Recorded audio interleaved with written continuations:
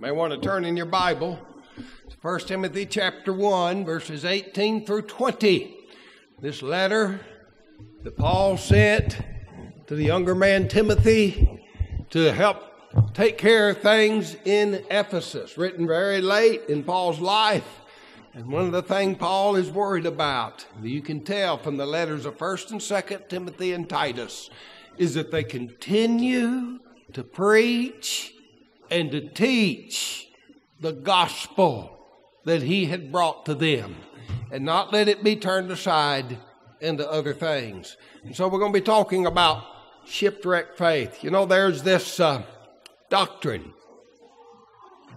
It's a doctrine. It's a it's one of man's doctrines. That doctrine is not important. Well, that's a doctrine. You know, when you have things that are so contradictory like that, you just know something's not right here. People say doctrine's not important. That itself is a doctrine.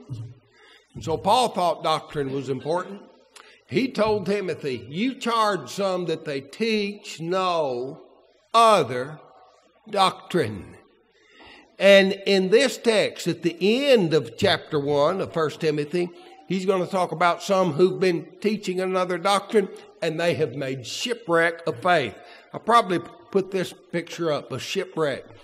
There's a lot of stories about shipwrecks, especially in the ancient literature. It must have been a frightening thing to get out on that sea and those little boats powered by the wind and then storms coming up they couldn't they couldn't check their weather on their phones could they or or use gps to tell where they were at all they were just at the mercy of the elements out there and shipwrecks you could you could lose your ship you could lose your cargo and you could you lose your lives but with a shipwrecked faith you could leave, lose a soul. Now, Paul knew about shipwrecks. We read in 1 Timothy 1. Here's the text 18. This charge I commit unto thee, son Timothy, according to the prophecies which went before on thee, that thou by them mightest war a good warfare, holding faith and a good conscience, which some having put away concerning the faith, have made shipwreck, of whom is Hymenaeus and Alexander, whom I've delivered unto Satan, that they may learn not to blaspheme. There's this doctrine of uh, you're saved only by faith. Only by faith. That's the only thing that saves you, just faith.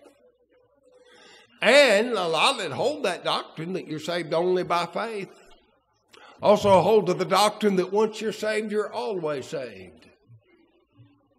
Well, what about a shipwreck faith? In the parable of the sower in the book of Luke, Jesus talks about those who for a while believed, but in times of temptation fell away. What do you do when you lose your faith? Or when you've made shipwreck of your faith? Well, then you're not always saved, are you? And here's what Paul knew about shipwrecks. In the book of Second Corinthians, chapter 11, verses 25 and 26, he's talking about all the things he'd gone through. Remember how Jesus said, I'll show you the great things you'll suffer for my name's sake. So, and among those things, he said, Thrice I suffered shipwreck. A night and a day have I been in the deep, in journeyings often, in perils of waters, and then he says, in perils of the sea. His ship had gone out from under him three times. Can you imagine floating all day and then all night in the deep, wondering, will I be saved? I'll hold on to this board from the ship or whatever it was. And, and somehow he was saved. Now, we don't read about those shipwrecks. It was after he wrote this that we read about a wreck he was in. It's in Acts chapter 27. And winter was setting in, and sailing was now dangerous. And because of the fast was already past, Paul admonished them and said to them, Sirs, I perceive that this voyage will be with hurt and much damage, not only to the lading and the ship, but also of our lives. Nevertheless, the centurion believed the master and owner of the ship more than those things which were spoken of by Paul. That's why we have shipwreck. That's what results in a shipwreck faith. We'll get to depending on these experts. You know, the, the owner and master of the ship, surely he knows about shipping. He ought to know more about it than Paul does. And we might pay attention to earthly experts more than the words of Paul and make shipwreck. Going on with this story. There arose against it a tempestuous wind called Euroclydon. And when the ship was called and could not bear into the wind, we let her drive. They lost control of that ship.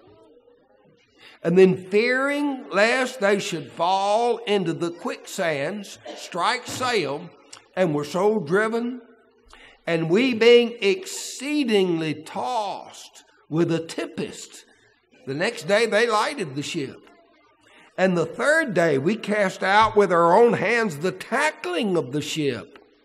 And when neither sun nor stars in many days appeared, and no small tempest lay upon us, all hope that we should be saved was taken away. Can you imagine that? You know, we read in the book of Romans, Paul says we're saved by hope. As long as we have hope, we can keep going and keep struggling. No, I've got hope we'll get through this. But when all hope that we should be saved was lost, it's just like they're just waiting for the end to come. Acts 27 27. When the 14th night was come, they were out there two weeks in this storm. When the 14th night was come, as we were driven up and down in Adria, about midnight, the shipmen deemed that they drew near some country and sounded and found it 20 fathoms. And when they sounded a little farther, they sounded again and found it 15 fathoms. Then, fearing lest we should fallen upon rocks, they cast four anchors out of the stern and wished for day. Now, they can't see what's out there, it's night. But they can tell we're getting shallower and they can hear the waves beating against some shoreline out there. So imagine that ship now, four anchors, those four ropes holding that ship with the wind blowing them toward some unknown shore that they could hear the breakers and know it's getting shallower. And I bet they did some real wishing that night, don't you? Thinking, boy, I wish it was day so we could see what was ahead.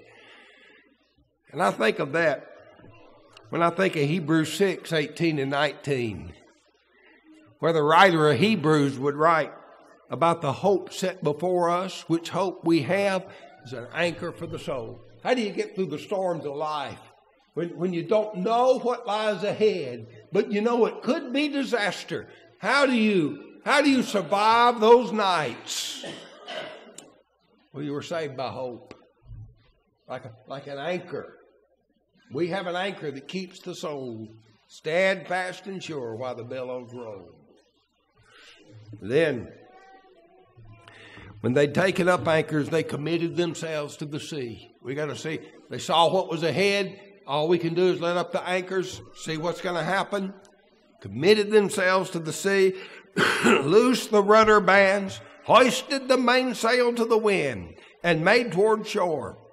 And falling into a place where two seas met, they ran the ship aground, and the fore part struck fast and remained unmovable, but the hinder part was broken with the violence of the waves. The centurion commanded that they which could swim should cast themselves first into the sea and get to land, and the rest, some on boards, some on broken pieces of the ship. And so it came to pass that they escaped all safe to land. Now, Paul writes about those who concerning the faith have made shipwreck. Paul knew about shipwrecks. I want you to think about the faith. What if that been the faith? And you concerning the faith, you've made shipwreck. He later writes in a similar manner to this in 1 Timothy 6, verses 9 through 10, about those who fall into temptation. I guess you're worried about falling into the sea with the storm at sea. What about those who fall into temptation? Look what it says fall into temptation and a snare and in many foolish and hurtful lusts which drown men in destruction and perdition. For the love of money is the root of all evil, which some coveted after they've erred from the faith. What'd they do? They're looking at earthly lust, fleshly desires, fleshly lust, and the love of money, and they made shipwreck of their faith. And they drowned. That's what they do. That's that same epistle. So charge some that they teach no other doctrine. You see, when you have a shipwrecked faith, it's because of a shipwrecked doctrine. Doctrine does matter. Charge them that they teach no other doctrine. Don't give heed to fables, endless genealogies which minister questions. You know, some people just love to bring up questions about which we don't have any answers to. They just think they're wise to bring up these questions. Don't do that. Focus in on what the Bible teaches that we can know. That's where we need to put our attention. Fables and endless genealogies which men are questioned. Godly edifying which is in faith is the kind of teaching we need. So do. Now, the end of the commandment is charity of a pure heart and a good conscience, faith unfeigned. Now, look what they've done. Some having swerved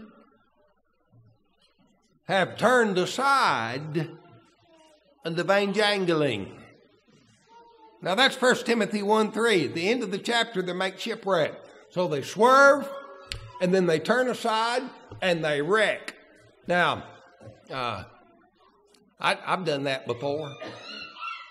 When I totaled a car, something happened, and I swerved, and, and you know what they always warn you about in driver school don't overcorrect. That's what you do. Sometime in trying to avoid one error, we go from one extreme over to another extreme. I wonder if that had something to do with Paul was saying, teaching them the law is good. You know, Paul had been teaching them you're not under law, but under grace. And so some people think, well, we don't have to obey any law. We don't have any law.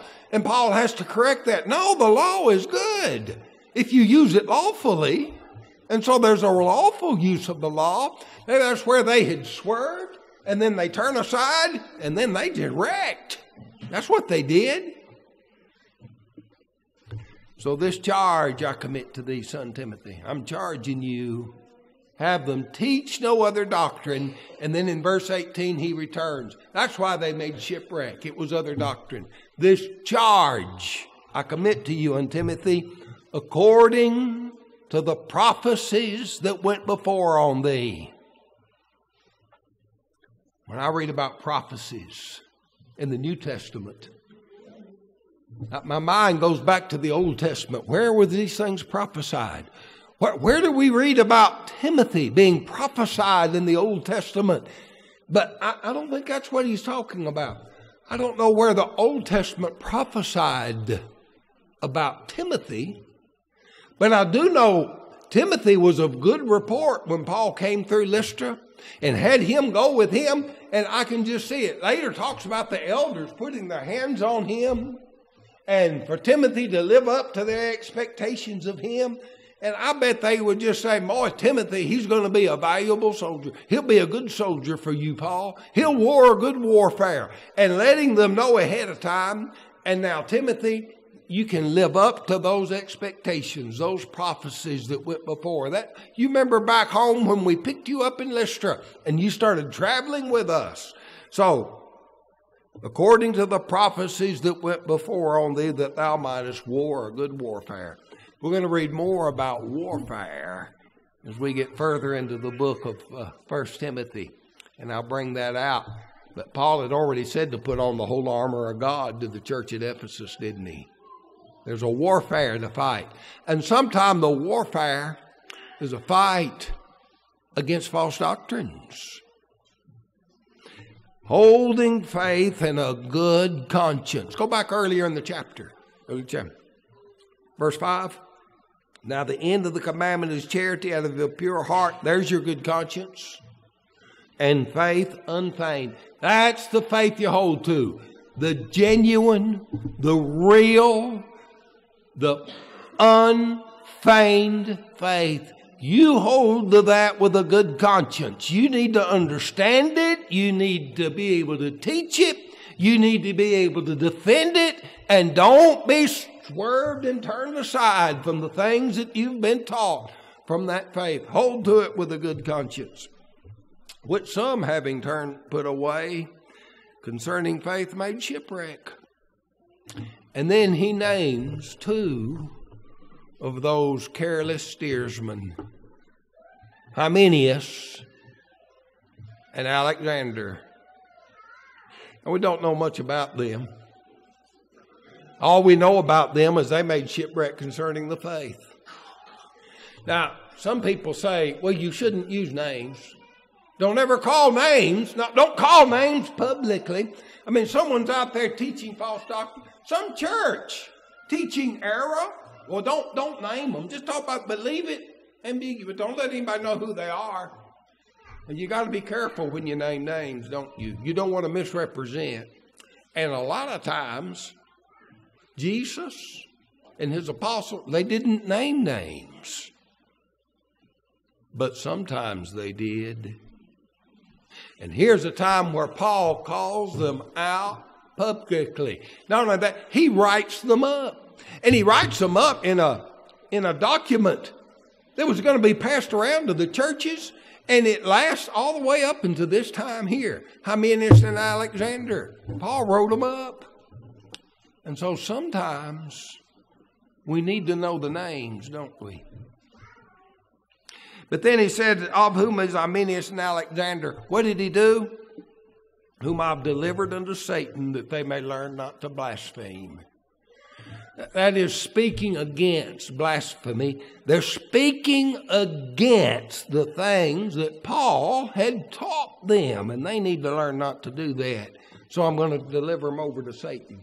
That sounds very severe, doesn't it? What does it mean to deliver them over to Satan?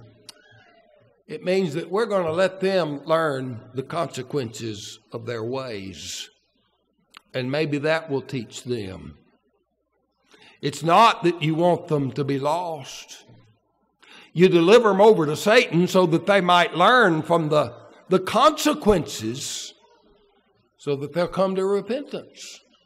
It's what Paul talks about in 1 Corinthians 5, verses 4 and 5. In the name of our Lord Jesus Christ, this has to do with a very immoral man in that church in Corinth. He says, In the name of the Lord Jesus Christ, when you're gathered together in my spirit with the power of the Lord Jesus Christ to deliver such a one unto Satan. What are you going to do? Don't comfort him in his sin. No, you, you got to realize you can't you can't fellowship with us if you're going to be this way. You got to go out and you're going to learn the hard way you're going to suffer the consequences of your error. And why are we going to do that to someone? Are we just mean and ugly? No, that's, that's not it. It says, for the destruction of the flesh. Now that'd be not their body, but the, but those fleshly passions and desires that have driven them into error. For that destruction, that the spirit may be saved in the Lord Jesus. We're turning them out because they're going to learn from the consequences of the way they have chosen. They're going to learn the hard way. And our desire is that if they'll learn, we're going to be here to bring them back in and welcome them home when they're ready to repent. We want their spirit saved. They're not being delivered over into Satan so that they'll be lost. They're delivered over to Satan now that they might be saved. I wonder if Hymenaeus and Alexander learned. I hope they did. I hope they got out there and learned, you know, this, this, these doctrines we've been teaching, they, they lead to no good. We've got to return and come back to the truth, and that would be our hope. It'd be great, wouldn't it, to find Hymenaeus and Alexander with us in glory when that time comes and say, yes, we learned the hard way, but we learned because the purpose was so that they might be saved. And so here's what we learned. 1 Timothy 1.19, holding faith or putting away faith. What are you going to do? We need to hold to the faith. We need to hold to those things that are true. We need to hold to the things that the Bible teaches. There's all kinds of theories, all kinds of doctrines of men, all kinds of philosophies and theologies that come from men. And they'll try to wrest the scriptures to teach what they're saying, but they're not teaching what the Bible said. Hold to the faith and don't put that away for something else. You do, you'll make shipwreck. Holding faith or putting away faith. No other doctrine but godly, edifying, which is in faith, is what Paul instructs. That means to preach the word. He's going to say it just as plain as he can be time you get to 2 Timothy chapter 4. Preach the word. And there'll be some that will be weary of hearing it and desire teachers having itching ears. But you preach the word. So that's the way not to have a ship shipwrecked faith. Doesn't that make you want to know what the word says? To make sure you're reading your Bible and studying it and thinking it through with all these different doctrines and philosophies out there going all different directions. And what man says is just going to lead to shipwreck. This is what's going to guide us safe into the harbor of our heavenly home. If you've suffered from the consequences of false ways, you can still be saved. You can be free from Satan. You can be baptized into Christ. And if you've been baptized, you can return. And that is what we invite people to do at every gathering while we stand and sing our invitation song.